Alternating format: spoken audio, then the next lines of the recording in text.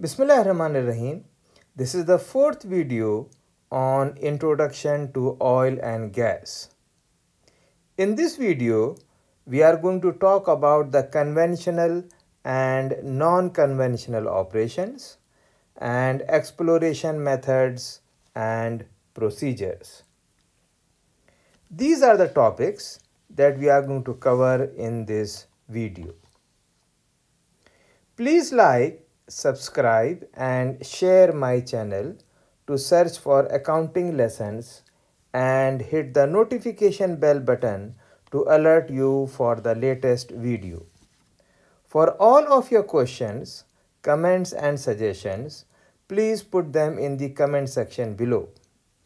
For webinar and guest speaker invites, please send me a message at accountingamir at gmail.com.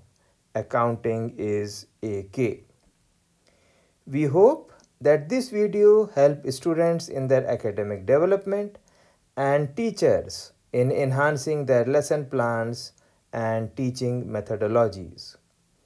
We also hope that this video help fresh graduates who have joined the oil and gas companies and want to refresh their learning on oil and gas.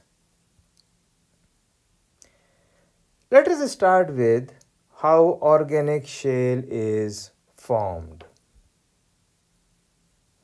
Oil and gas typically begins with a muddy mix of fine sediments such as silt and clay combined with the organic remains of aquatic microorganisms called plankton.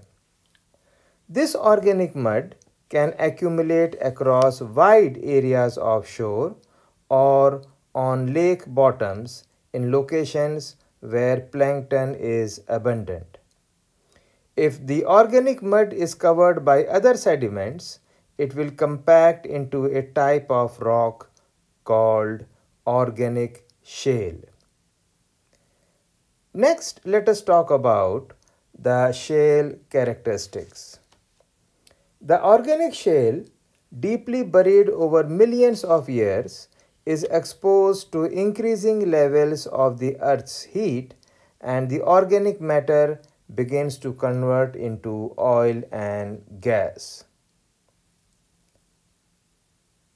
The silt and clay grains in shale are tiny and stacked in a tight pattern which makes the rock nearly impermeable.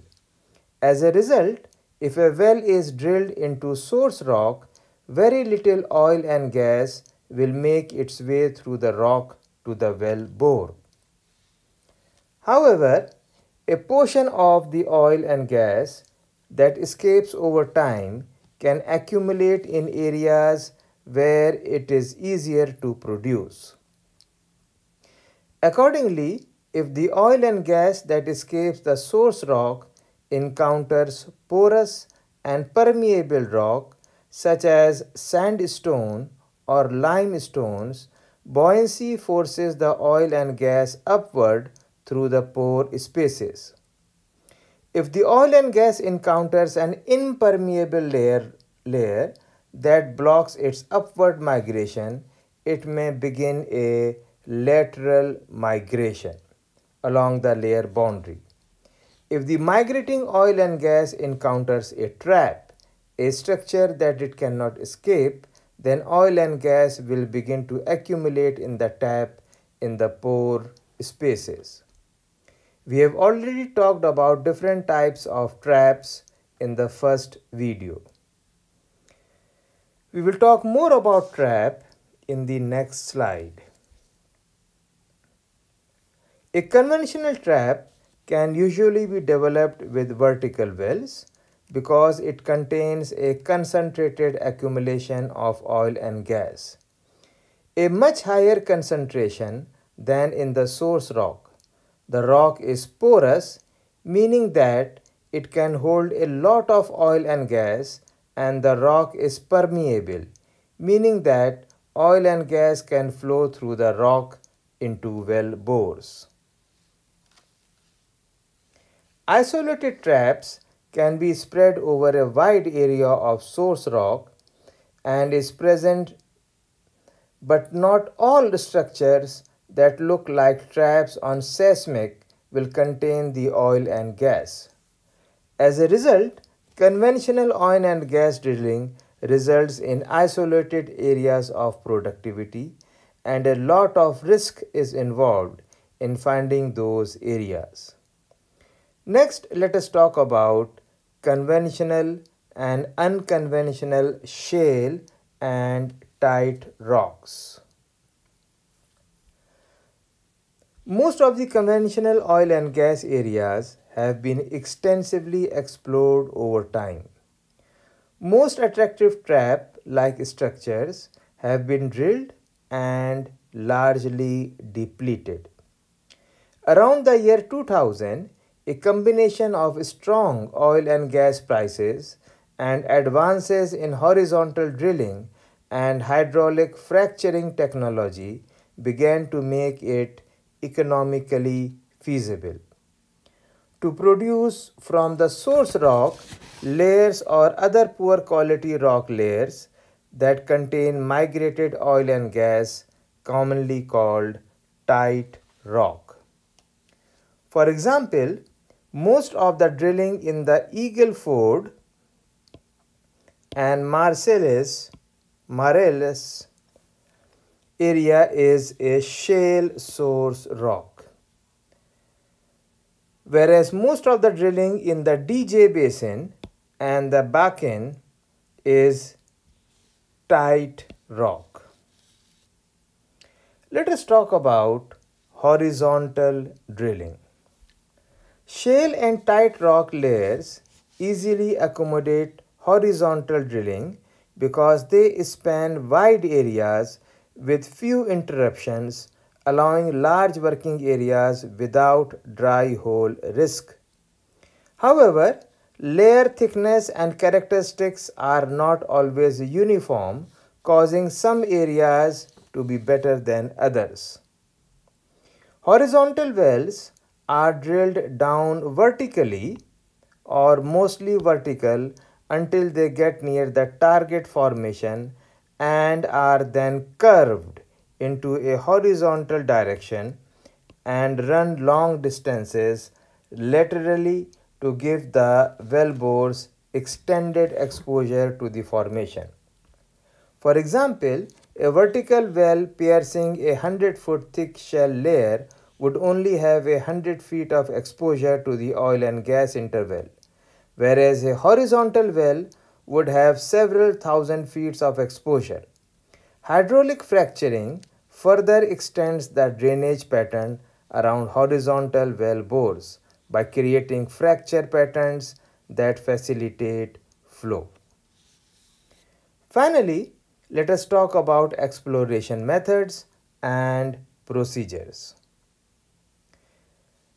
We have just established what kind of structures tend to trap oil and gas in the earth's crust. But how do we locate potential traps underground? One technique is seismic surveys. In this technique, a vibrator truck fires shock waves into the ground.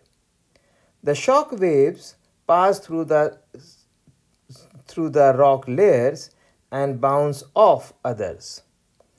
By restoring, recording how long it takes for the shock waves to arrive back at the surface allows geologists to build a picture of the internal structure of the rock beneath their field. Next, let us talk about drilling the well. A potential oil trap is called prospect. Once a prospect has been identified, the next stage is to drill a hole into the top of the trap to see if it contains oil and gas. It is incredibly expensive to a drill hole. An offshore rig may cost more than 10,000 for every meter drilled. So if you are going to drill a hole 5000 meters underground, it is going to cost about 25 million dollars. Consequently, geologists have to be pretty confident that they are going to hit the oil. If they don't drill too many if they drill too many dry holes, they will soon lose their job. I will be making a separate video on drilling the well. Next, let us talk about how to enhance recovery of oil. If the geologist is lucky, he will strike oil and gas. A hole which contains oil and gas is called a well. The oil and gas is under considerable pressure in the earth's crust. So once a well is drilled into the reservoir rock, the oil and gas rapidly rises to the surface. However, as more and more oil and gas comes out of the well, eventually the pressure drops and flow slows down. To get the remainder of the oil and gas out of the reservoir rock, a second hole is drilled adjacent to the first one. Hot water or steam are pumped down the hole and this forces the oil and gas still trapped in the rock go up the original well. This technique is called enhanced recovery. Once the oil and gas has been extracted from the ground, next it must be safely transported from the well to the refinery. Let us see how it is done. Oil is usually transported from the well to the refinery using pipelines. These pipelines may stretch over land or be laid over the seabed. A spectacular, example of an oil pipeline is the Trans-Alaskan Pipeline which carries oil and gas for 1300 kilometers across Arctic, Arctic permafrost. Another way that oil and gas are transported is by means of massive oil tankers. These gigantic vessels can carry up to half a million tons of oil. Once the oil reaches the refinery, the next step is to refine it and let us see how it is done. At the refinery, the crude oil which also contains lot of gas is processed. This involves separating oil from uh, separating out all the different hydrocarbons in the crude oil.